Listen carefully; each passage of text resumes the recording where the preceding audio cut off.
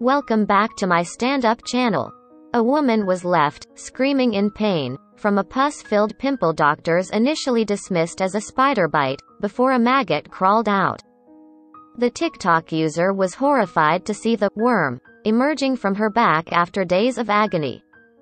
She relived her horrendous experience explaining what happened from the start of the problem to the grim result. The woman, known as Loud Lady Library on the social platform, said it began when she woke up in the middle of the night screaming in pain.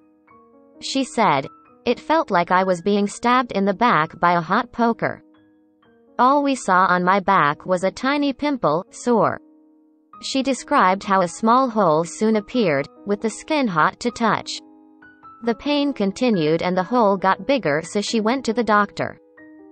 Who said it was caused by a brown recluse spider bite. He gave her antibiotics, but nothing could be done for the pain, and pus continued to leak and get on her clothes and bed sheets. She said. The hole grew to the size of a quarter. As my husband was changing my dressing, he saw something moving around in the hole. I thought it was just dead tissue. Imagine my shock when after eight weeks of agony, a worm crawled out of my sore. She explained to horrified followers that she had cracked the case of where it came from. The woman revealed the maggot was a larva from a botfly that had got into her back in an egg.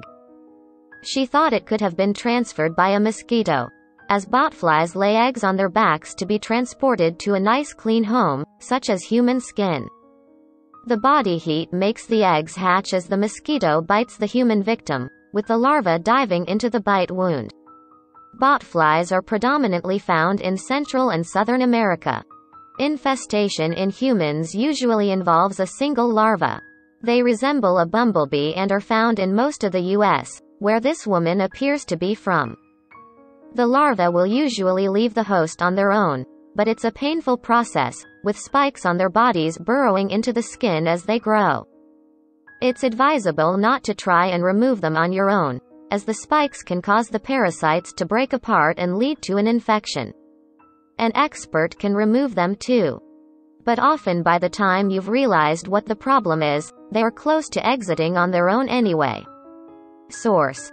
nypost.com Please like, share and subscribe. Thank you for watching.